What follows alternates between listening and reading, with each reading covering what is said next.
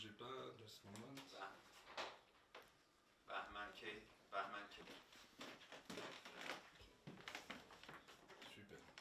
حالت, خو...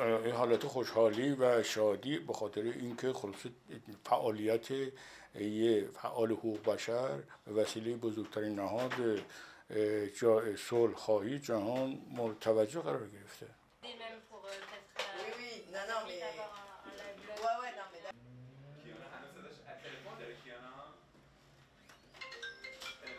خب ببینید وقت اون. از, از اینکه م- مطلع بشین جایزه گرفته خیلی خوشحال میشه و از خودش هم میگه یه جمله داره میگه هر جایزه که من به من بدن من جسورتر مقاومتر و شجاعتر برای تحقق حقوق بشر آزادی برابری مدنی و دموکراسی می‌کنه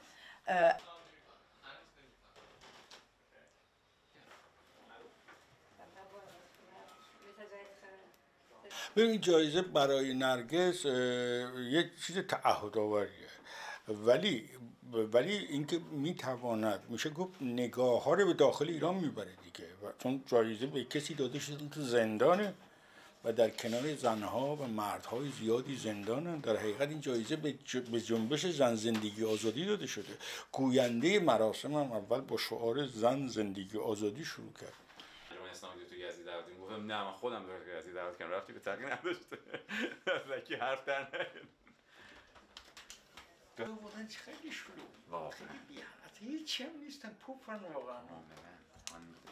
خب به- این خیلی آدم تمایل داره و آرزوش هست که ما با هم زندگی کنیم. ولی خب فعالیت و مبارزه سیاسی این عملا از ما گرفته. من 11 ساله که نرگس رو ندیدم و بچه ها 7 ساله که نرگس رو MAM en. من مدرسه دارم من مدرسه دارم Par contre, je l'ai Très bien. Et à 11h, mon cœur il s'est arrêté, car euh, dès que à ma, la dernière, euh, à ma dernière swipe, bah, j'ai su qu'elle avait gagné justement. Et bah, je pouvais pas crier en classe, être super content, mais je l'étais au fond de moi. Je voulais exploser au fond de moi et voilà, c'est tout. بلند بخاطر اینکه این صدا کیفیتش پایین نگه صدا اه، به فرانسه من بگو که euh, je dirais que je suis très très fier de ma mère, que ce prix-là, elle la mérite.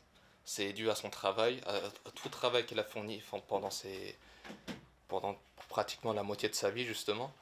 Et ce prix-là, bah, c'est pas que pour ma mère, justement, c'est pour la lutte, c'est pour euh, femme, vie, liberté. Du coup, c'est quelque chose de plus grand, qui peut faire encore plus plaisir à ma mère. voilà, et après,